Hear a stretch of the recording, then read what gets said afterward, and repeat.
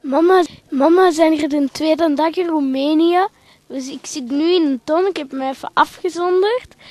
Uh, Jan en Dirk zijn er wel bij. En Bjorn en papa. Maar ik ga even een boodschap inspreken. Doe Carlijn en Basil de groeten.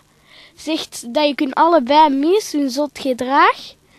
En uh, ik mis u ook wel. Want wij, daar, daar is het eten ook wel goed. Maar in het vliegtuig, echt, gaat dat niet lekker vinden dat eten. Dat is zo, zo precies honden eten. Met, met, met, kapotte patatten of zo. En zo hondenbraak en zo een taartje met fruit in. Dat is echt vies. Maar tot vrijdag, hè. Dag.